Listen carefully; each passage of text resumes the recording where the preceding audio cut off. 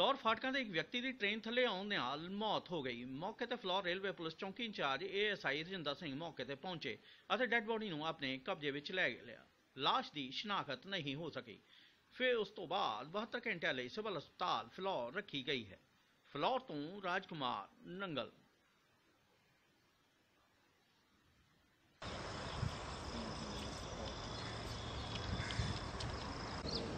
ਮੇਰਾ ਏਐਸਸੀ ਰਜਿੰਦਰ ਸਿੰਘ ਫਲੋਰ ਚੌਂਕੀ ਇੰਚਾਰਜ ਲੱਗਿਆ ਇੱਥੇ। ਕਿ ਸਾਨੂੰ ਹੁਣੇ ਰੇਲਵੇ ਸਟੇਸ਼ਨ ਤੋਂ ਸਟੇਸ਼ਨ ਮਾਸਟਰ ਨੇ ਦੱਸ ਦਿੱਤੀ ਸੀ ਕੋਈ ਵਿਅਕਤੀ ਲੈਨ ਮਤਲਬ ਰੇਲ ਗੱਡੀ ਥੱਲੇ ਆ ਗਿਆ। ਅਸੀਂ ਮੌਕੇ ਤੇ ਪਹੁੰਚੇ ਹਾਂ। ਹੁਣ ਬਾਕੀ ਹੁਣ ਦੇਖਦੇ ਹਾਂ ਵੀ ਇਹ ਕਿ- ਕਿੱਥੋਂ ਦਾ ਤੇ ਅਜੇ ਸ਼ਨਾਖਤ ਪੂਰੀ ਤਰ੍ਹਾਂ ਹੋਈ ਨਹੀਂ ਹੈਗੀ।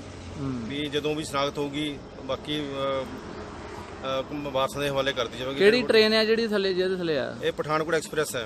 ਅੱਛਾ। 22429 ਨੰਬਰ ਹੈ ਹਾਂ। ਬਾਕੀ ਜਦੋਂ ਵੀ ਇਹਦੀ ਕੋਈ ਪਛਾਣ ਪੈਂਦੇ ਨਹੀਂ ਤਾਂ ਫਿਰ ਇਹਨੂੰ 72 ਘੰਟੇ ਵਾਸਤੇ ਮੌਜੂਦ 'ਚ ਰੱਖਿਆ ਜਾਵੇਗਾ। ਹਾਂ। ਠੀਕ ਹੈ ਜਦੋਂ ਇਹਦੀ ਸ਼ਨਾਖਤ ਹੋਊਗੀ ਤਾਂ ਪਰਿਵਾਰ ਦੇ ਹਵਾਲੇ ਕੀਤਾ ਜਾਵੇਗਾ। ਬਾਕੀ ਮੌਤ ਦੇ ਕਾਰਨਾਂ ਦਾ ਪਤਾ ਲਗਾਇਆ ਜਾਵੇਗਾ ਵੀ ਕੀ ਕਾਰਨ ਹੈ।